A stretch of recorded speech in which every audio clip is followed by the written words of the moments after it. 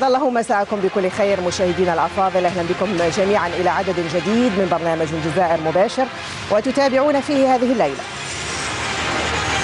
في الحدث بحث آليات تنفيذ القرار الأممي لوقف إطلاق النار الفوري في غزة. قرار يترجم التزام الجزائر الدائم بنصرة القضية الفلسطينية العادلة.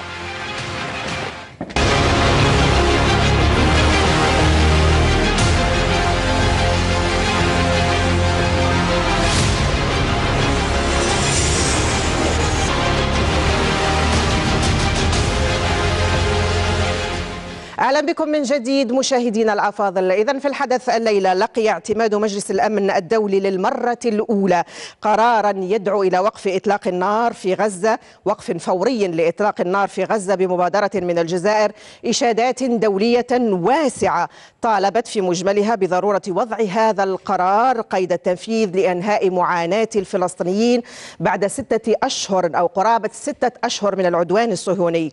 هذا وكان وزير الخارجية والجالية الوطنية بالخارج أحمد عطاف قد أعلن عن الشروع في بحث هذه الآليات الكفيلة بتمكين الأمم المتحدة من متابعة تنفيذ هذا القرار. ورقة في الموضوع مع نجوى جدي. ما كانت لحظات التصويت بمجلس الأمن على قرار وقف دائم وغير مشروط لإطلاق النار في غزة إلا لتعكس ذاك القدر من الثقة الممزوجة بالترقب والشعور بالانتصار. 2024 ولعل خطوات السفير الفلسطيني المتسارعة التي تحمل في معناها عمق الامتنان والتأثر كانت تحاول تجميع تفاصيل الصورة بوجهها الفلسطيني والجزائري أمام مرأى كل العالم لتسجل هذا الموقف. هون هون عمار هون. جنبي جنبي جنبي. هذه الكلمات من السفير بن جامع التي شد وقعها وسائل التواصل الاجتماعي حملت بلغتها البسيطة والقوية عمق المعنى وعمق المبدأ بأن الجزائر حامية ظهر الأشقاء ولا سيما فلسطين التي ترفع لواءها أينما كانت دون تردد. وبالتزامن يتصدر القرار واجهة كبريات القنوات والجرائد والمواقع ومعه تبرز جهود الجزائر كرمز للدبلوماسية الصادقة والجهود المثمرة وكراع حقيقي للسلام وصوت الحق. ونشكر الجزائر على تمثيلنا هنا وتمثيل جميع الدول العربية في هذا الجهد. ونشكر الجزائر وموزمبيق والأعضاء المنتخبين الآخرين على جهودهم. هناك تنسيق جديد في الأمم المتحدة آه، خلال الفترة التي خدمت فيها الجزائر في مجلس الأمن. الجزائر تلعب دورا تاريخيا في حركة عدم الانحياز. الجزائريون موجودون في كل مكان في الأمم المتحدة ولهم دور تاريخي يلعبونه.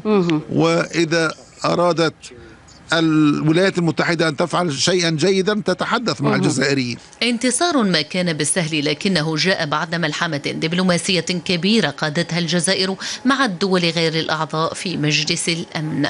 بادرت فيها بلادنا لعقد سبع اجتماعات بطلب منها وحدها منذ بداية عهدتها شهر يناير الفارط من أجل وقف العدوان على غزة. في نفس الوقت فاضت جهود الجزائر خارج المجلس وعملت مع المنظمات العربية والإفريقية والإسلامية ودول عدم الانحياز مارست الجزائر ضغوطات لتحميل مجلس الأمن مسؤولياته ولجأت إلى صيغ جديدة جمعت أعضاءه مع أسر الضحايا الفلسطينيين الفارين من العدوان. عملت الجزائر على تحضير مشاريع قرارات آخرها تم اعتماده بالأمس. وما زالت معركتها مستمرة من أجل السلام والعدل وحق الفلسطينيين في دولتهم المستقلة. لتؤكد الجزائر وأحرار العالم من خلال جهودهم بأن العدالة تسود حين تتحد الإرادات. إثراء مشاهدينا للنقاش يحضر معنا في عدد اليوم من الجزائر المباشر كل من البروفيسور توفيق بوقعدة أستاذ العلوم السياسية والعلاقات الدولية بجامعة الجزائر ثلاثة. مساء الخير بروفيسور وشكرا لك على قبول الدعوة. مساء الخير وصحفتكم وتحية لكل المشاهدين. أهلا بك. كما نسعد أيضا باستقبال الدكتور حمزة حسام أستاذ العلوم السياسية والعلاقات الدولية بالمدرسة العليا للعلوم السياسية والعلاقات الدولية أيضا بجامعة الجزائر ثلاثة. مساء الخير أستاذ حمزة حسام شكرا لك على قبول الدعوة صحفتكم ولك بالمثل كما يلتحق معنا عبر محطة قسنطينة أو من محطة قسنطينة الجهوية البروفيسور عبد اللطيف بروبي أستاذ العلوم السياسية والعلاقات الدولية بجامعة قسنطينة ثلاثة. أستاذ بروبي أو بروفيسور بروبي مساء الخير. شكرا لك على قبول الدعوة. مساءك أسعد. تحية طيبة لك ولكل مشاهديكم. شكرا على الاستضافة أهلا بك. أيضا نرحب بضيفنا من محطة وهران الجهوية الدكتور عمر محوز أستاذ العلوم السياسية والعلاقات الدولية بجامعة وهران اثنين. دكتور محوز مرحبا. شكرا لك على قبول الدعوة. أهلا وسهلا أختي الكريمة تحية طيبة لك ولضيوفك الأكارم ولجميع مشاهدي التلفزيون الجزائري. أهلا بك ونسعد أيضا بمشاركة البروفيسور حمود صالحي أستاذ العلوم السياسية والعلاقات الدولية من جامعة كاليفورنيا بالولايات المتحدة الأمريكية. بروفيسور صالحي مساء الخير. شكرا لك على قبول دعوة المشاركة معنا. مساء الخير وتحياتي لضيوفك والزملاء بالأستوديو. أهلا بكم جميعا. أبدأ معك بروفيسور بقعده بالحديث عن هذا القرار الذي يعد سابقه في مجلس الأمن الدولي. دليل آخر على حنكة الدبلوماسية الجزائرية في قيادة المفاوضات أو المفاوضات المكثفة. فيما تكمن بداية أهمية هذا القرار بالنسبة للفلسطينيين في حد ذاتهم وبالنسبة للقانون الدولي اليوم. أكيد أن القرار الذي تم استصداره من مجلس الأمن يعتبر سابقة في في عهد عمل المجلس الأمن لأول مرة يتم منذ انطلاق حرب غزة من 7 أكتوبر. نشهد هذا الاختراق في الموقف الدولي وتحييد موقف الولايات المتحدة الأمريكية. وأكثر من ذلك أن هذا القرار يأتي في إطار تنسيق كذلك والجهد الدبلوماسي التي بذلته الجزائر مع مجموعة الأعضاء المنتخبين وكذلك الغير منتخبين دائمون في مجلس الأمن من أجل أن يخرج القرار بهذه الصيغة وبهذا الشكل دون اعتراض من أي طرف من الأعضاء الدائمين في مجلس الأمن. هذا القرار كذلك أهميته يعتبر كذلك اختراق في الموقف الأمريكي، اختراق في الموقف الأمريكي لأول مرة للولايات المتحدة الأمريكية على طول عمل مجلس الأمن أن يتم عدم استخدام حق النقد دون الرجوع إلى إسرائيل ودون ودون تنسيق مع إسرائيل، شاهدنا العديد من تنسيقات مثلا في حرب 2006 أو 2016 عندما رفضت كذلك الولايات المتحدة الأمريكية استخدام حق النقد في حرب حرب الاسرائيليه ضد لبنان، لكن هذه المرة أول مرة يتم عدم استخدام حق النقد دون الرجوع أو التنسيق مع إسرائيل وهذا ربما ما اثار حفيظة الإسرائيليين ونتنياهو بشكل حاد وبالتالي هو إسفين في العلاقات الإسرائيلية التي يمكن التاسيس عليها في قادم الأيام. هذا القرار كذلك أهميته أنه حظي بإجماع كل الأطراف في مجلس الأمن من جهات القارة الأربعة وبالتالي يمكن التاسيس عليه فيما سوف يأتي من العمل الدبلوماسي الجزائري في قادم الأيام كما أن هذا القرار الذي شفنا ولاحظنا عبر مختلف وسائل الإعلام الذي تم إشادة به سواء من رؤساء الدول أو كذلك من المجتمع المدني الدولي وكذلك من حتى الفلسطينيين الذين هم تحت الحصار والقصف الإسرائيلي أشادوا بالجهد الدبلوماسي الذي تقوم به الجزائر. وبالتالي هذا مكسب للجزائر وللدبلوماسية الجزائرية العريقة في مثل هكذا مواقف خاصة ما يتعلق بمساندة القضايا القضايا الأخلاقية وقضايا التحرر والاستقلال في العالم. هذا القرار في تقديري يعتبر أهم حدث إلى حد الآن حدث منذ حرب غزة في أن يتم الأخذ بالبعد الأخلاقي لدى المجتمع الدولي. ونقل مختلف المواقف التي كانت خارج الأمم المتحدة إلى داخل الأمم المتحدة وإحراج الولايات المتحدة الأمريكية وكل الشركاء الإسرائيليين من أجل عدم الوقوف أمام هذا القرار وعدم التصويت ضده وبالتالي مكسب يمكن تأسيس له في عمل المجلس الذي لا يمكنه في قدم أن يتراجع إلى الوراء على هذا الموقف الأساسي في ضرورة وقف الحرب. وكذلك ضرورة تقديم المساعدات للشعب الفلسطيني ووقف الإبادة الإبادة بالقتل والإبادة بالتجويع الذي تنتهجه الآلة الحربية الإسرائيلية. جيد. دكتور حمزة حسام هذا القرار يعني يأتي أو يتحرك هذا التحرك الدبلوماسي الجزائري يندرج ضمن طبعا توجيهات السيد الرئيس التي تؤكد على أن تكون بوصلة الدبلوماسية الجزائرية ضمن أولوياتها هي القضية الفلسطينية. اليوم من خلال هذا القرار حلول عملية واقعية وحدت كلمة مجلس الأمن أمام هذه القضية هو أكيد يحسب للجزائر بأنها وصلت إلى تلك الصيغة نعم. التوفيقية في اعتقادي التي راعت من خلالها تحفظات أو التحفظات التي سجلت على المقترح الذي سبق للجزائر وأن قدمته ورفض في فيفري المنصرم نعم. عندما نصل إلى صيغة من جهة لا تدين المقاومة الفلسطينية. من جهة تتجنب وصف المقاومة أيضا الفلسطينية بالإرهاب وفي الوقت نفسه تفك الارتباط بين مسألة وقف إطلاق النار وقضية إطلاق سراح الأسرى فهذا في حد ذاته ينم عن حنكة دبلوماسية عن قدرة على التعاطي مع تلك الحساسية الحاصلة. الشيء المميز أيضا والذي يثبت بأنه فيه نوع من التكيف الجزائري السريع والقدرة على يعني الاتيان بشيء جديد يمكن أن يحظى بالقبول هو تجنب أن يخرج المقترح أو أن تخرج مسودة القرار من كتلة الأعضاء الدائمين لأنه ندرك تماما بأنه فيما يتعلق بكتلة الأعضاء الدائمين هناك دائما حساسية بين الأعضاء. نتيجة لحسابات جيوسياسية وهذه الحسابات في الحقيقة تؤدي دائما إلى رفض أي مقترح يأتي من داخل هذه الكتلة لأنه فيه نوع من المناكف المناكفة السياسية بين الأطراف. وبالتالي يحسب للجزائر بأنها راعت كل هذه الأمور بأنها أتت بمقترح حظي بإجماع وقبول كل ما يسمى بالأعضاء غير الدائمين في مجلس الأمن وبالتالي أعطته شرعية وصبغة شرعية أكبر ولهذا وصلنا إلى هذه وصلنا إلى هذا القرار الذي كما قلنا خرج بموافقة بشبه إجماع لأنه عندما نعم. نتحدث عن تصويت 14, 14 دولة لصالح القرار دون أي رفض مقابل امتناع الولايات المتحدة الأمريكية فهنا نحن نتحدث عن شبه إجماع في التعامل أو في إصدار هذا القرار. أكيد بأن اليوم نتيجة لهذا القرار نحن أمام مرحلة جديدة في التعاطي مع ما يحصل في غزة. هذه المرحلة الجديدة عنوانها الأساسي هو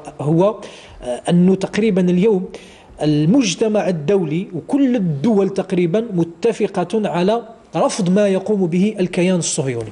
وأعتقد بأن هذه أيضا واحدة من الميزات الأساسية التي تميز هذا القرار هي أنها استطاعت أن تخرج الكيان الصهيوني معزولا. ولاحظ بأنه حركية الدعم أو مسار الدعم الذي كان يحظى به الكيان الصهيوني الآن بدأ في التراجع وتقريبا يصل إلى نعم. أقصى حد ممكن لماذا؟ لأنه قبل شهر فقط كانت الولايات المتحدة الأمريكية ضد مقترح القرار وبريطانيا امتنعت عن التصويت صحيح. اليوم بعد شهر بريطانيا تصوت لصالح القرار والولايات المتحدة الأمريكية لا تعارض إذا الدعم الذي كان يحظى به الكيان الصهيوني يتراجع نعم. تدريجيا. وأنطلق من هذه النقطة أستاذ حمزة حسام لأتوجه إلى الأستاذ عبد اللطيف بروبي من محطة قسنطينة الجهوية. كما قال ضيفي هنا بالاستوديو هذه الخطوات الجزائرية القوية التي كللت بتمرير هذا القرار الدولي بوقف إطلاق النار في غزة. أستاذ بروبي هل هذا التحول يعني رفع مظلة الأمان الدولية التي كان يحظى بها ويتمتع بها الكيان الصهيوني بعد هذا القرار؟ فعلا لأن القرار جاء بعد إخفاقات عدة لمجلس الأمن في استصدار قرار لأن هنالك إخفاقات ارتبطت بماذا بمبادرة أنطونيو غوتيراش بتفعيل المادة 99 وبمحكمة العدل العدل الدولية ومطالبة بمعاقبة الكيان الصهيوني وبمشروع الجزائري الذي الآن أصبح قرار الأكثر من ذلك عندما أقول على أن القرار جاء هو بعد إخفاقات عدة لمجلس الأمن في ستة أشهر. نحن نتكلم عن ثلاث استعمال الولايات المتحدة الأمريكية ثلاث مرات للفيتو وحتى في ماذا؟ في تعديل مشروعها. وهنا الإشكال في حد ذاته إذا مهم جدا الآن أن ندرك على أن الكيان الصهيوني وفق منطق على أن عندما يصدر القرار وفق منطق بتفعيل الفصل السادس من ميثاق الأمم المتحدة المرتبطة بمجلس الأمن أي نعم هو مرتبط بالعلاقات ذات الطابع الودي السلمي والدخول في هدنة إنسانية وغير مشروطة وتحدد معالم وخارطة الطريق. فيما تكمن هذه خارطة الطريق أن تكون هدنة إنسانية ورجوع اللاجئين وإدخال المساعدات إلى ثلاث مواضيع جزء وجزء وجزء من خلال هذا القرار إذا هنالك نجاح مضاعف الآن من خلال القرار بعد إخفاقات سابقة إذا عزلة الكيان الصهيوني في حد ذاتها على أننا أسسنا قانونيا والقراءة القانونية أننا أسسنا مبادرة وفق منطق على أن الفصل السادس فعل الآن وهنالك إمكانية اللجوء إلى الفصل السابع لأن نعم. الإشكالية السابقة على أن الفصل السادس أي نعم يرتبط بالحلول ذات الطابع السياسي الودي والأمني وحتى لا ننسى على أن الجزائر نجحت في ماذا في عزل الكيان السهولي ونجحت في إصلاح الأمم المتحدة وتصورات مرتبطة بمجلس الأمن في الدور الحقيقي لمجلس الأمن لأن مجلس الأمن هو جهاز سياسي تابع لمنظمة الأمم المتحدة حتى نفهم وهذا الجهاز لا يسمو على الأجهزة الأخرى ولكن هو جهاز شبيه بماذا بالجمعية العامة وشبيه بالمجلس الاقتصادي والسياسي إذا كل الأجهزة الستة المرتبطة بالأمم المتحدة متساوية ولكن نحن يكثر الكلام على. على مجلس الأمن وكأنه جهاز فوق الأمم المتحدة. إذا نعم. بنجاح باستصدار القرار. جاء إذا وفق إخفاقات سابقة ونحن نتكلم عن نجاح في القرار. جاء وفق شروط غير موجودة من حيث الشكل ومن حيث المضمون لأنها منفصلة عن بعضها البعض اللاجئين والهدنة والمساعدات. أكثر من ذلك أسسنا لمقاربة قانونية فيما تكمن على أننا نستطيع الآن تفعيل الفصل السادس الذي فعل الآن وهو تابع للأمم المتحدة. وعزل الكيان الصهيوني بعدما كان هنالك سق وضع سقف الكيان الصهيوني وضع سقف لمطالبه على أنه سيقضي على المقاومة ولا يخرج من غزة إلا بإنهاء مدى المقاومة. وما نعم. شابه ذلك. جيد. بروفيسور بروبي سأعود إليك لاحقا بالحديث عن إمكانية تفعيل البند السابع في حال عدم التزام الكيان بتنفيذ هذه القرار. ولكن أتحول إلى الدكتور عمر محوز من محطة وهران الجهوية. دكتور محوز وزير الخارجية الجزائري أمس تحدث عن الانطلاق أو بدء في المشاورات مع مع كل الأطراف المعنية من أجل بحث آليات تنفيذ هذا القرار معبرا عن صعوبة هذا المسار وتعقيداته. بداية ما هي الأطراف المعنية بتنفيذ هذا القرار وفيما تكمن الصعوبة التي تحدث عنها وزير الخارجية؟ بسم الله الرحمن الرحيم. شكرا لك أختي الكريمة على هذا السؤال. أكيد أن الجزائر من خلال مشروع قرار المجلس الأمن الذي تم تمريره من خلال إجماع القوى العضوة أو الدول العضوة في مجلس الأمن سواء الدول الدائمة أو الدول غير الدائمة يؤكد على أن الجزائر فعلا تفكر في مرحلة ما بعد وقف إطلاق النار. نعم. لأن مسألة وقف إطلاق النار في ظل الأوضاع الكارثية داخل الأراضي الفلسطينية أصبحت ضرورة ملحة وأصبحت أمرا محتوما ليس فقط بالنسبة بالنسبة للمجتمع الدولي وحتى بالنسبة للكيان الصهيوني الذي فشل في تحقيق الأهداف الاستراتيجية من حربه على الفلسطينيين في غزة. إذا أكيد أن هذه المرحلة اللاحقة لمرحلة اعتماد هذا القرار تشكل مسألة تكتيكية بالنسبة للدبلوماسية الجزائرية وأكيد أنها ستضع ستضع في الحسبان تغير مواقف الكثير من القوى العضوة في مجلس الأمن سواء بالنسبة لبريطانيا العظمى أو بالنسبة للولايات المتحدة الأمريكية التي أرادت من امتناعها عن التصويت على القرار تمرير موقف حاسم وتحذير للحكومة الصهيونية وفي مقدمتها ممثلة في رئيس الحكومة بنيامين نتنياهو بأن الأوضاع أصبحت غير مقبولة بسبب هذا التشويه للموقف وللصورة الأمريكية باعتبارها أصبحت داعمة تظهر بالنسبة للرأي العام بأنها دولة داعمة للكيان الصهيوني لدولة إرهابية تمارس كل أشكال الإبادة الجماعية وتخترق الشرعية الدولية الدولية وتناهض وتعارض القانون الدولي الذي يحاول تحاول الهيئات الدولية والمؤسسات الدولية ممثلة في مجلس الأمن إنفاذها في ظل هذه الأوضاع التي أصبحت تمثل حالة استثنائية وحالة خطيرة يستوجب على المجتمع الدولي أن يتجاوزها بأي طرق كانت سواء بالأطور القانونية من خلال إنفاذ قواعد القانون الدولي والشرعية الدولية أو من خلال أيضا ممارسة الضغوط الدبلوماسية وحتى الضغوط العسكرية غير المباشرة على الكيان الصهيوني من خلال سحب دعم الكثير من الدول للكيان الصهيوني. إذا المفاوضات أو المساومات إن صح التعبير أكيد التي ستجري داخل دواليب مجلس الأمن الدولي ستجعل من الجزائر ستجعل من الجزائر في موقف قوة من منطلق أنها قادت الكثير من المبادرات التي المبنية على على مجموعة من الأهداف الاستراتيجية التي لا ترتبط كما سبق وذكرت بوقف إطلاق النار وإنما ترتبط أساسا بدعم مبادرة إدماج أو منح فلسطين عضوية دائمة في هيئة الأمم المتحدة نعم. وكاملة السيادة. إذا الأهداف الاستراتيجية المرتبطة بالتحرك الدبلوماسي المكوكي داخل مجلس الأمن مرتبطة بمراحل قادمة. أكيد أنها ستحمل الجديد للقضية الفلسطينية وأكيد أنها ستبرز هذا الدور الدبلوماسي الاستثنائي للجزائر داخل المحافل الدولية. من منطلق الجزائر دائما ما تركز على ضرورة الاعتماد على الشرعية الدولية في مواجهة الكثير من القضايا ومعالجة الكثير من المسائل التي تؤثر على الأمن والسلم الدوليين أكيد أن فواعل المجتمع الدولي داخل مجلس الأمن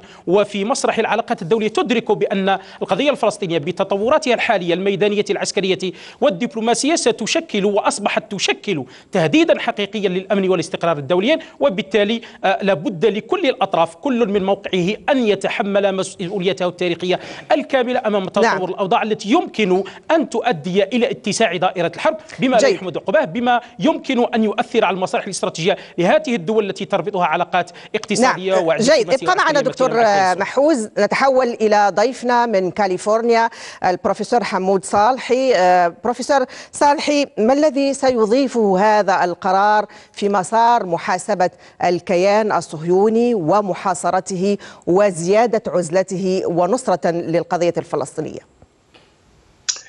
إضافة كبيرة آه، ومهمة آه، تاريخيا آه، دبلوماسيا عسكريا في جميع الميادين باختصار هذا انتصار لفلسطين لغزة للمقاومة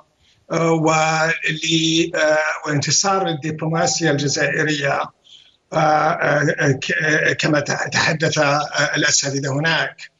ما تضيفه أن هذه أيضا آلية أخرى تثبت آه، آه، آه، شهادة للحق الفلسطيني وتزيد من عزلة إسرائيل عالميا.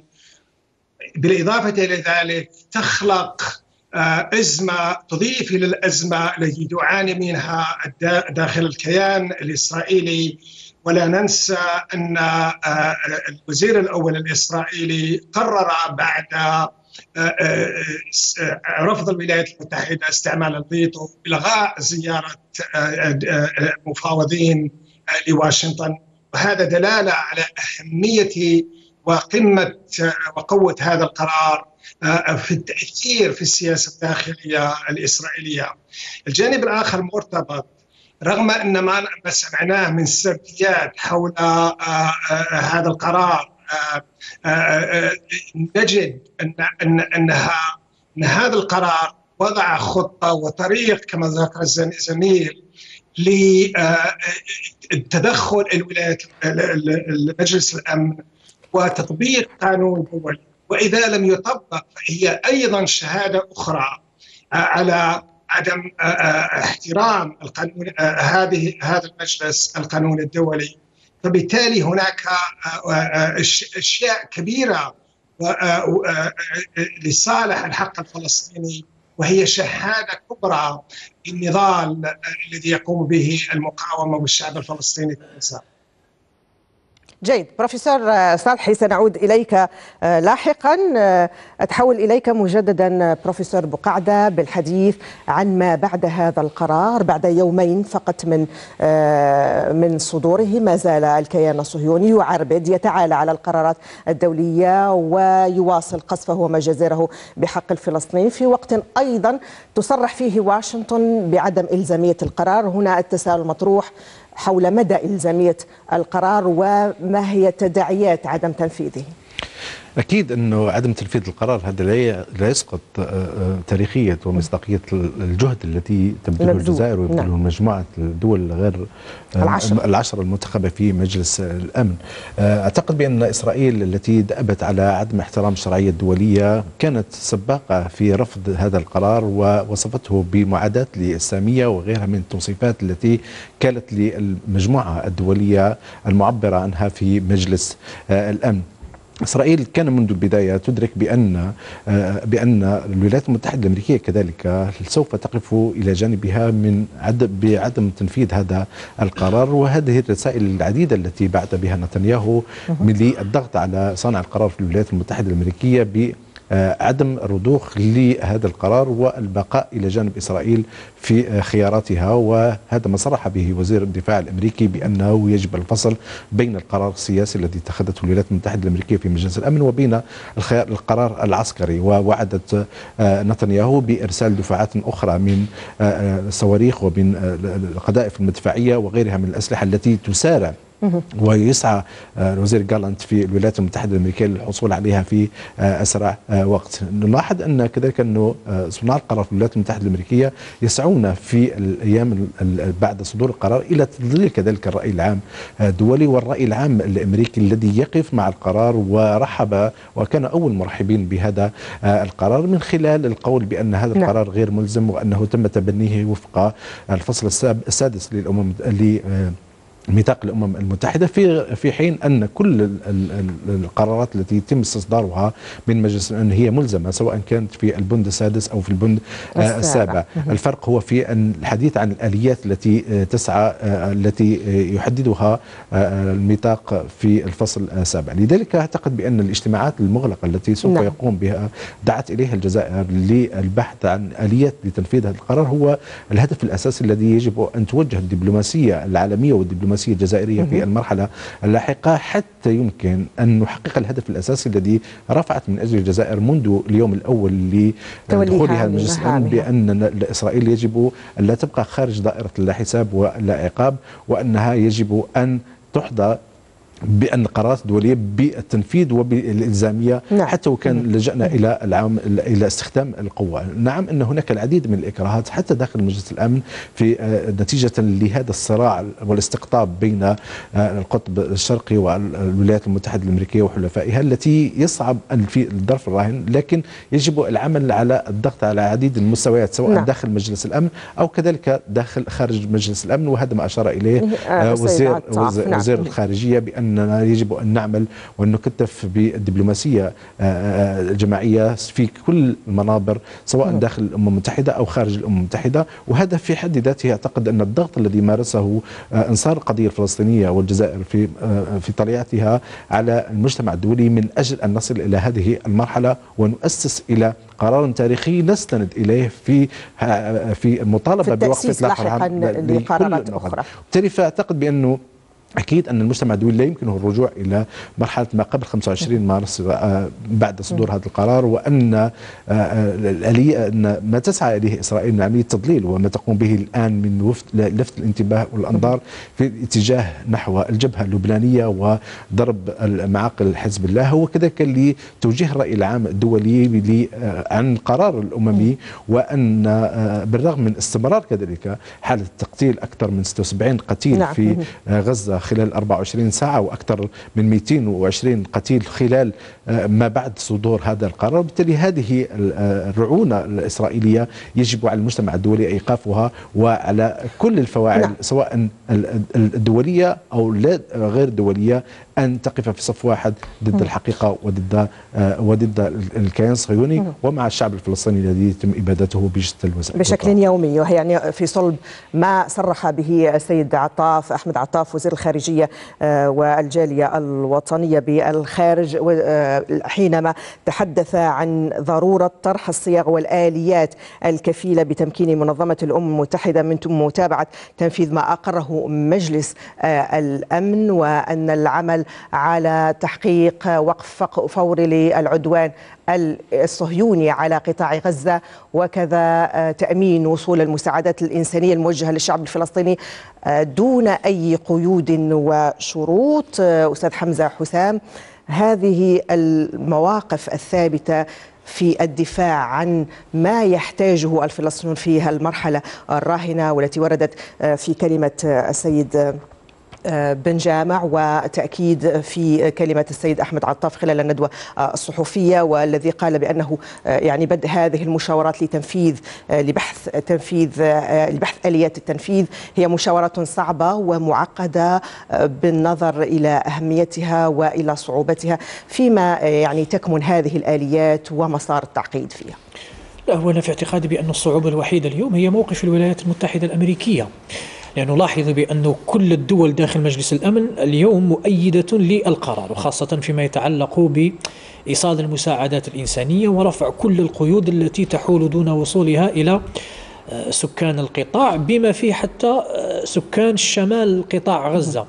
إذا اليوم التعقيد الأساسي أو العقبة الأساسية فيما يتعلق بتنفيذ هذا القرار مرتبطة بموقف الولايات المتحدة الأمريكية وهنا فيه تناقض وفيه نوع من التلاعب بالرأي العام بالنسبة للولايات المتحدة الأمريكية المادة الثالثة والأربعون من ميثاق الأمم المتحدة تنص على أن كل قرارات مجلس الأمن بغض النظر عن الفصل الذي تصدر تحته, تحته. هي قرارات ملزمة, ملزمة. اليوم هناك حديث بأن هذه القرارات أو القرار 27 28 هو بالأساس قرار صدر ضمن إجراءات الفصل السادس ولكن الميثاق يقول بأنه في حال لم تلتزم الدولة بمعنى اليوم الكيان الصهيوني لم يلتزم بتطبيقه فإن من حق مجلس الأمن أو من واجبه أن يجتمع مرة أخرى. نعم. ولكن هذه المرة لإقرار آليات تنفيذ ضمن ما يسمى بالفصل السابع من ميثاق الأمم المتحدة. طبعا هذا لا يتوقع أنه سيطبق لأن التجربة التاريخية والتجربة إلى غاية الآن الموقف الأمريكي كما قلنا الذي سيقف يعني حائلا. نعم الموقف الأمريكي الذي يناقض أصلا الميثاق يؤكد بأنه حقيقة الولايات المتحدة الأمريكية في ورطة. هي أمام هذا الضغط الدولي والإحراج العالمي الذي لا يمكن تجنبه وبالتالي لم تستطع هذه المرة أن تستخدم حق النقد لوقف القرار ولكنها في الوقت نفسه ما زالت تحافظ على شعرة معاوية مع الكيان الصهيوني بمعنى ترسل له الرسائل بأن هذا القرار لن يطبق. إذا الإشكال اليوم أو العقبة الأساسية هي في كيفية تجاوز هذه العرقلة الأمريكية في تنفيذ هذا القرار. الأرجح هو أنه عمليات أو العمليات العسكرية ضد الفلسطينيين لن تستخدم القوة لأجل وقفها ولكن أنا ربما أتوقع بأنه سيكون فيه تطور فيما يتعلق بإدخال المساعدات الإنسانية. نعم. نعم. هذا أعتقد بأنه سيكون, سيكون فيه نوع من الإجراءات وربما حتى نوع من الضمانات للدول التي تمتلك المعابر وعلى رأسها طبعا مصر من أجل السماح بإدخال كميات أكبر من المساعدات الإنسانية إلى قطاع غزة.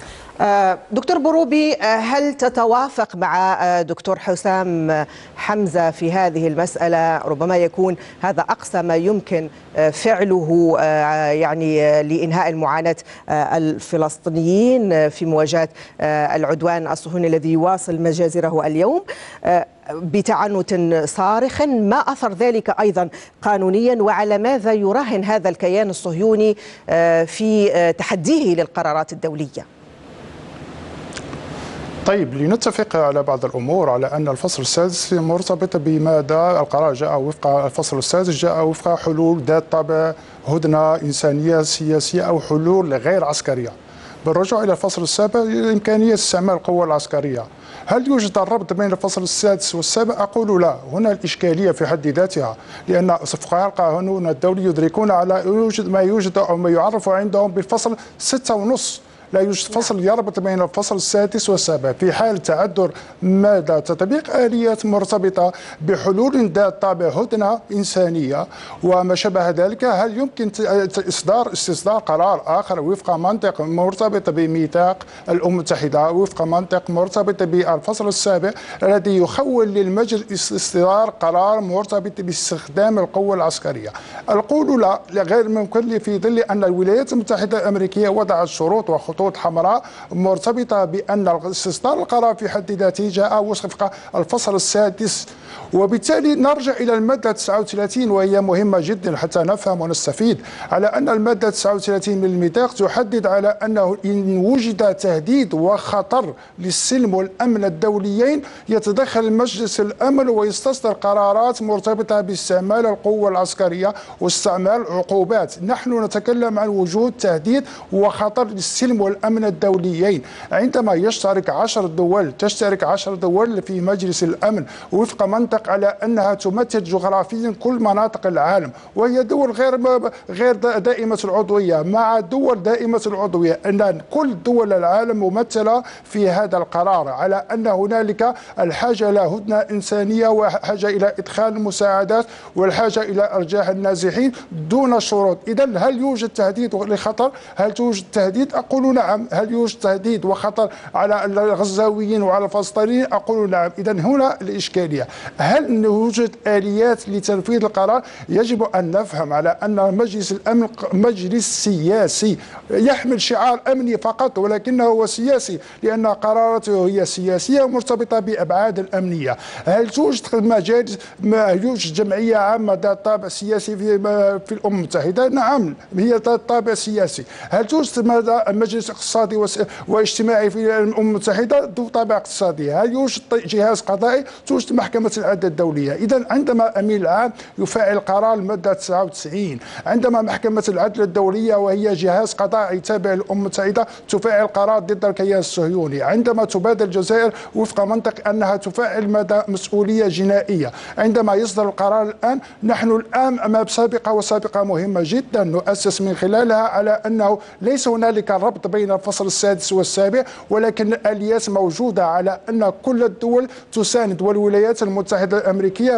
بدرت بفكرة قبل القرار من خلال ماذا ميناء بحري لإدخال المساعدات. هل توجد آليات أخرى؟ عقوبات مورست على الكيان الصهيوني من التحالف في حد ذاته. عندما تمنع كندا تزويد الكيان بالسلاح يعني أننا دخلنا في مرحلة الفصل السادس وإمكانية استصدار عقوبات عسكرية قبل قبل صدور القرار في حد ذاته. إذا إذا ما وجدت مسؤولية مسؤولية ليس مجلس الأمن بقدر ما هي مسؤولية الجمعية العامة مسؤولية 193 دولة مشكلة للأمم المتحدة مسؤولية مع الالتزام. الالتزام في ماذا؟ على أن الكيان الصهيوني يستغل الثغرات القانونية على سبيل المثال عندما المحكمة العدل الدولية أصدرت قرار وقالت على أنه يجب أن يقدم تقرير الأمم المتحدة جعل من التقرير سري ولا نعرف محو ما, ما هو ما فحوى هذا القرار وماذا قدم الكيان الصهيوني للأمم المتحدة. إذا هنالك ثغرات وهذا معروف في الميثاق الأمم المتحدة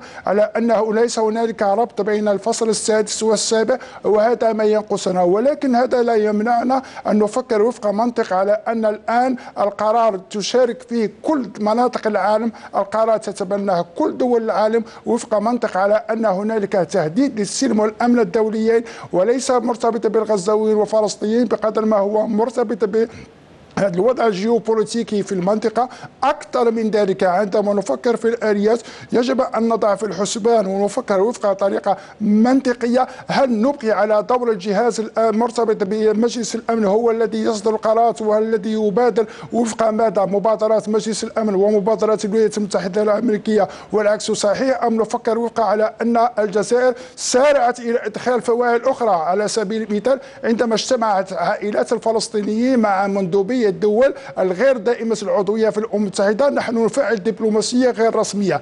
إذا أين هي الضغوطات؟ الولايات المتحدة الأمريكية ستعرف انتخابات مقبلة طيب 40% من سكان العالم سيدخل في ماذا انتخابات لاحقا. نتحول مجددا للبروفيسور حمود صالحي من كاليفورنيا. بروفيسور حمود صالحي في ظل هذا التعنت والعربدة الصهيونية بالدوس على هذه القرارات الأممية هل سيفتح هذا التجاهل إمكانية محاسبة هذا الكيان على خرق القانون الدولي وانتهاك ميثاق الأمم المتحدة الذي يفترض أن تكون قراراته قرارات ملزمة لكل الأطراف؟ كل هذا النقاش الذي يدور حول ما كان بديهيا وخاصة عندما نطبق نفس الحادث لما جرى في أوكرانيا كلنا اساتذه وطلبة نتعلم أن من أحد خصائص قرارات مجلس الأمن أنها إلزامية وأن هناك إثبات القانون المادة 6 التي تقول بإمكانية طرد العضو الذي لم. لم يتماشى مع مبادئ القانون الدولي والتطبيقات التي أظهرت في مادة 7 وما يترتب على هذه بديهيات. يعرفها كل طالب كل أستاذ جزائري كل أستاذ أكاديمي. لكن الذي حصل أن الولايات المتحدة وإسرائيل دخلت في معركة إعلامية لخلق سرديه رواية جديدة تبعدنا عن الحديث بالفعل بآثار ومغزى هذا القرار. فنحن اليوم أصبحت وسائل الإعلام الغربية وبداية من مسؤول أمريكي بعد القرار مباشرة بأن هذا القرار غير ملزم. في حين أننا ندرك جيدا أن قرارات مجلس ملزمة. ولذلك أدخلنا في رواية غربية هدفها الأساسي ابعادنا عن التطرق إلى ماهيه مغزى هذا القرار الذي بالفعل لو كان لم يكن له أهمية لما قررت إسرائيل أو الكيان الصهيوني بعدم إرسال مبعوثها إلى إلى إلى الولايات المتحدة. هذا من جانب. الجانب الآخر هناك آليات أو أخرى. وأعتقد أن ما قاله الزميل أخيرا بأن هناك عقوبات في في جعل المجلس الأمن تطبيق هذا القرار. بإمكان أن تستعمل يستعمل هذا القرار في إطار الرأي العام العالمي.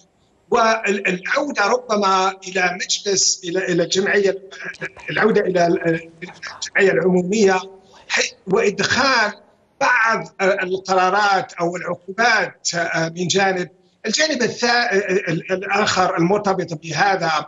هذا سيكون له أثر كبير.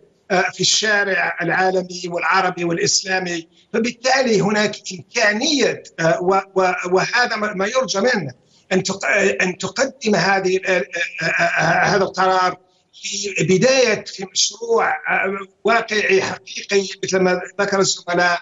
من أجل التأثير على على إسرائيل. مرتبط بهذا أننا بالفعل بدأنا ننظر إلى نستخلص بدأنا نرى بعض نتائج هذا القرار. من بعض الدول التي اتخذت قرارا بعدم إرسال بعدم بمساندة القرار فكل هذا نقول بأن الحديث عذرا منك بروفيسور صالحي أتوجه مجددا إليك دكتور حمزة حسام بالعودة إلى ما ورد في كلمة السيد عطاف وزير الخارجية حينما أكد على الحرص على ضرورة تقيد الاحتلال الصهيوني بما يقع عليه من واجبات والتزامات وضرورة امتثاله حول وامتثاله لما التفت حوله المجموعة الدولية من تدابير وقرارات يعني كللت في هذا القرار الدولي. أهمية تقييد تقيد هذا الكيان وإجباره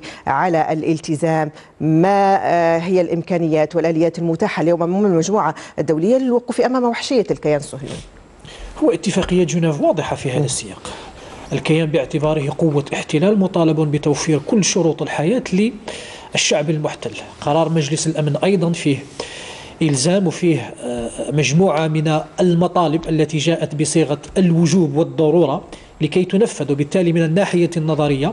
هناك مجموعة من المتطلبات التي ينبغي على الكيان أن يطبقها بموجب قرارات الشرعية الدولية وقرارات مجلس الأمن.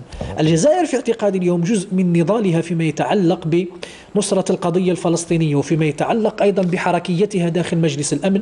اليوم تريد أن توصل الفكرة بأنه على الكيان أن يعامل مثله مثل أي دولة أخرى في العالم.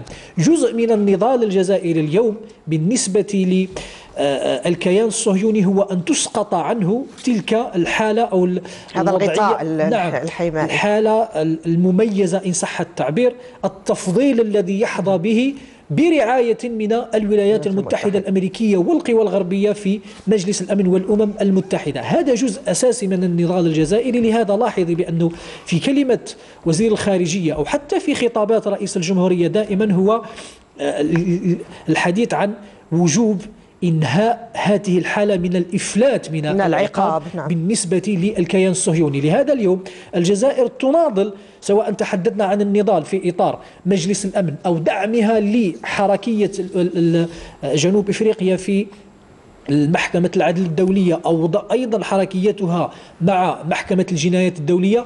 ضمن هذا التصور وتريد في الحقيقة أن تقنع العالم وتقنع كل الدول التي تشاركها التوجه أو حتى الدول المترددة أو الخائفة نوعا ما في التعاطي مع الكيان الصهيوني أن تقنعها بأنه في الأخير هذه أو هذا الكيان هو كيان محتل يجب أن يتم التعامل معه مثل ما يجري التعامل مع كل الدول في العالم. فهذا في اعتقادي نجحت فيه الجزائر نسبيا. أن لأنه لاحظ يا أستاذ عفاف قبل أيام قليلة كان فيه مشروع أمريكي أسقط بفيتو روسي وصيني. روسي وصيني صيني عفوا ولكن حظي بموافقة عديد كبير جدا من الكتلة التي قدمت مشروع القرار اليوم. بمعنى الجزائر في هذه المدة القصيرة استطاعت أن تقلب آراء مجموعة من الدول كانت قبل أيام فقط مع الطرح الأمريكي الذي كان يربط ربطا أساسيا بين مسألة الأسرى ومسألة وقف إطلاق النار.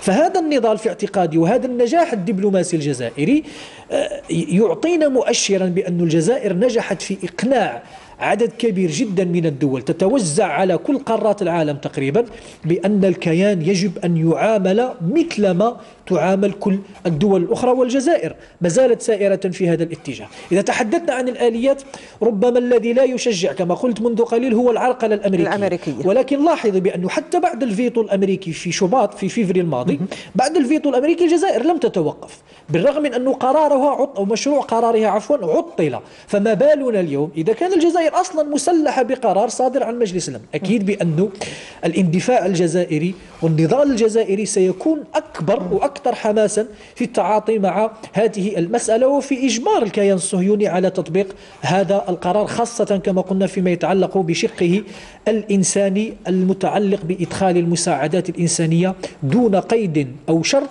وإلى كل مناطق القطاع. وفي هذه النقطة أيضا أستاذ عفاف يجب أن نشير بأن الجزائر كانت ذكية في مراعاة مطالب المقاومة الفلسطينية لأن واحد من الشروط المبدئية للتفاوض التي وضعتها حماس هو أن تصل كل المساعدات أو المساعدات إلى كل القطاع بمعنى حتى إلى المناطق الشمالية التي يريد أن يريد الكيان أن يعزلها أو أن يفصلها عن نعم. باقي أماكن القطاع بالإضافة طبعا إلى ذكاء آخر في الصياغة هو أنه لم يحدد جنسية المحتجزين هو تحدث عن إطلاق فوري بدون شروط لكل الرهائن ولكنه لم يحدد الجنسية وبالتالي هنا فسخ آخر نعم يعني يتضمن هذا أيضا اليوم لديها هامش كبير للمناورة بأنه في الأخير إذا كنت أنا مطالبة بإطلاق سراح الرهائن فالكيان أيضا والجيش المحتل مطالب, مطالب بإطلاق سراح الأسرى الذين هم بيده. نعم هو يعني يبقى القرار مكسب للمقاومة رغم إقحامه أو رغم الأفخاخ الموجودة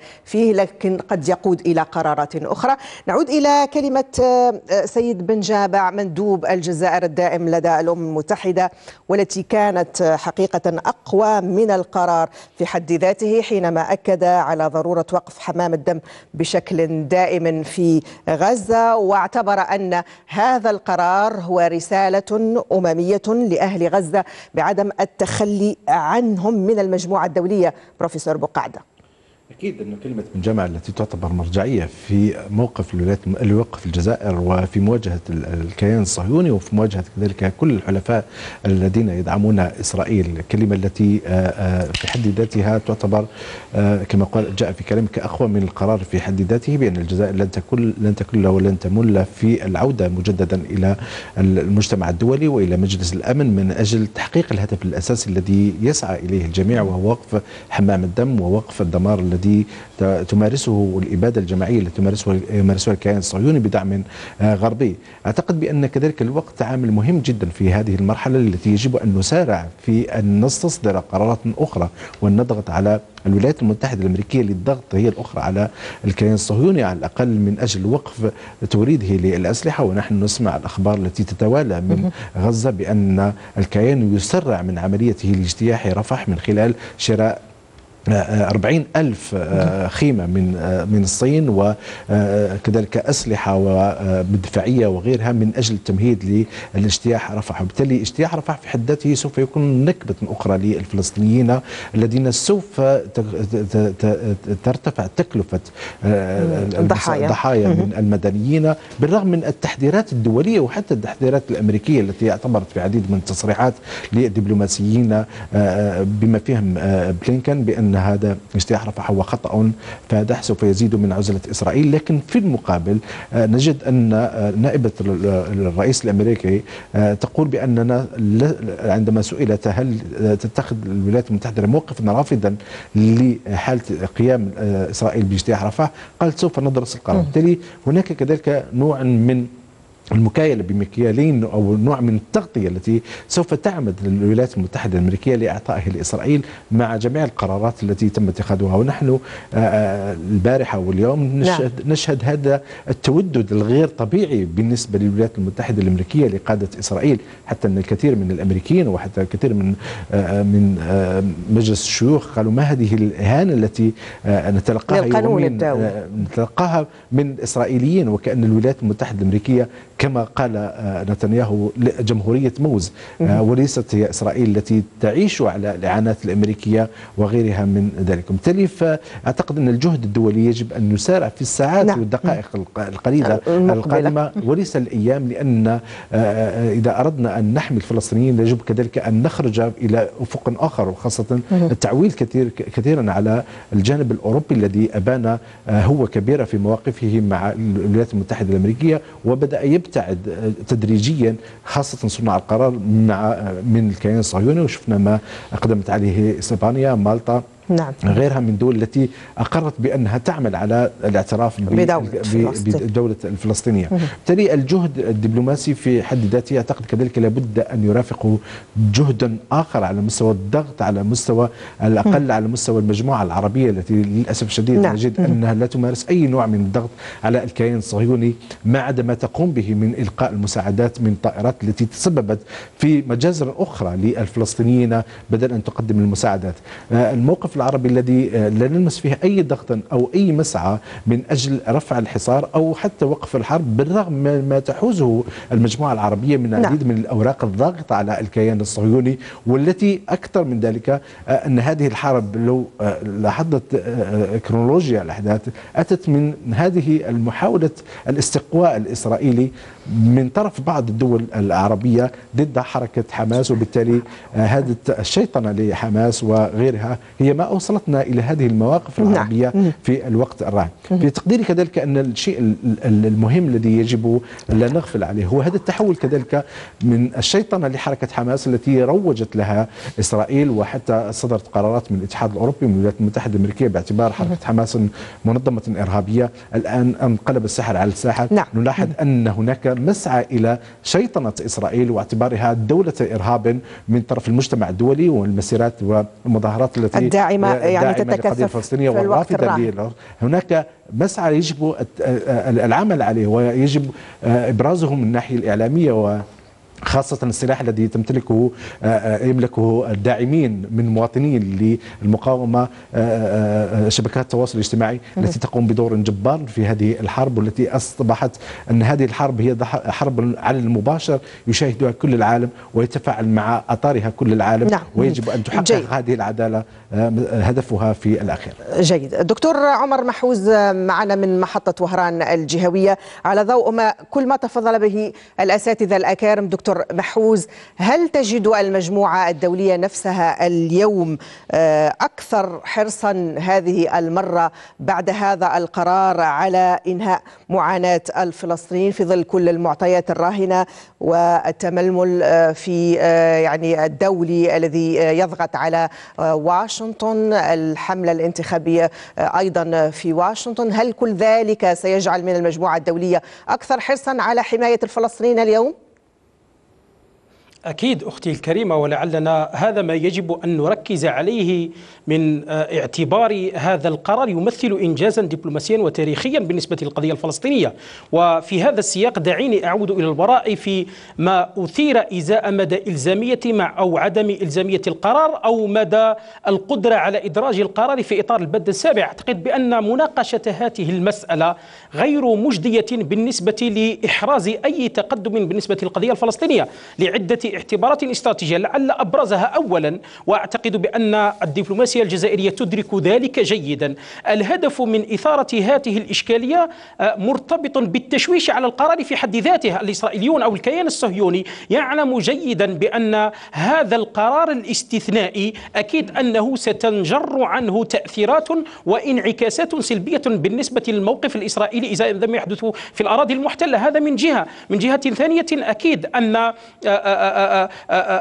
مسألة إدراج القرارات المحتملة لاحقا في إطار البند السابع لن يكون في صالح القضية الفلسطينية بل بالعكس أنا في اعتقادي وهذا ما تدركه الدبلوماسية الجزائرية أعتقد بأنه وما, وما لا يمكن أن تقبله الدبلوماسية الجزائرية سيكون في غير صالح الفلسطينيين من منطلق أن أكيد أنه لم يسبق أن تم استخدام القوة ضد الكيان الصهيوني تاريخيا منذ منذ تاريخ النكبة سنة 1948 وأيضا أن استخدام الآليات العسكرية في إطار البند السابع أكيد أنها ستكون ضد فصائل المقاومة الفلسطينية التي يعتبرها الكثير من فوع المجتمع المدني بأنها حركة إرهابية. وبالتالي لا أعتقد بأن الجزائر يهمها إدراج أي قرار أو استصدار أي قرار في إطار البند السابع بقدر ما يهمها استرجاع اولا المؤسسات الدولية التي تم السيطرة عليها من قبل الإمبريالية الاستعمارية بقيادة الكيان الصهيوني واللوبي الصهيوني الموجود المتواجد في الكثير من المؤسسات الدولية.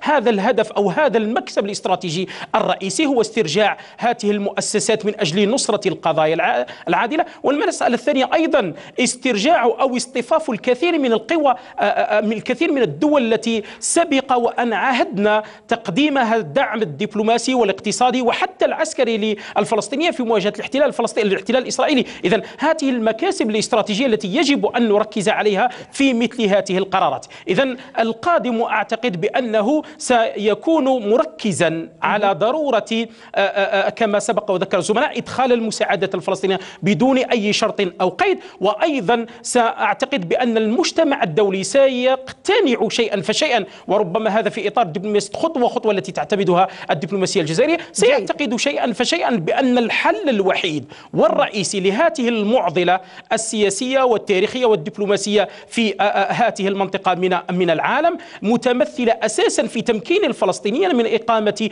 دولتهم كاملة نعم. السياده نعم. وقابلة للحياة من خلال العضوية الكاملة لفلسطين داخل الجمعية العامة وهو ما ستسعى وتعمل عليه الجزائر دكتور محوز لاحقا في المرحلة التالية من جهود الدبلوماسية الجزائرية اتحول مجددا إلى البروفيسور صالحي من كاليفورنيا وأبني على ما تفضل به قبل قليل البروفيسور بوقعدة حينما تحدث عن ضرورة تغير الموقف الدولي وبالتحديد الموقف العربي إزاء هذه القضية ما أثر ذلك على كسر هذا المتعنت الصهيوني برتبة مجرم في ارتكابه مجازر ضد الفلسطينيين؟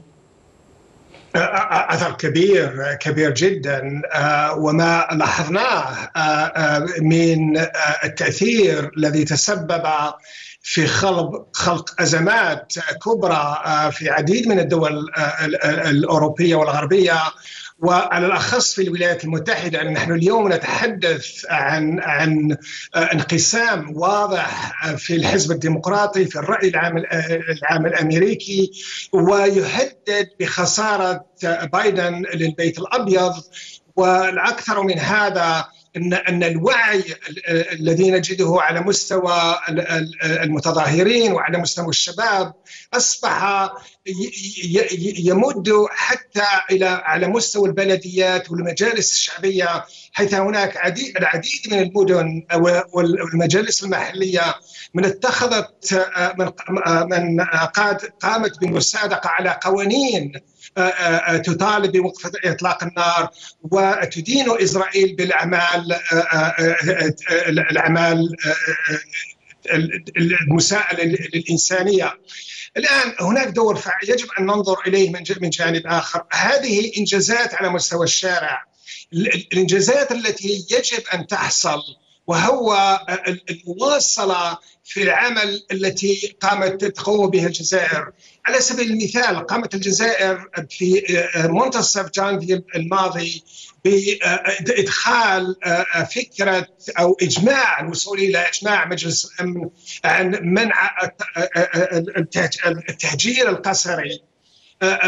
أيضا بعد قرار محكمة العدل الدولية قامت الجزائر بالمطالبه بعقد اجتماع طارق لمجلس الأمن.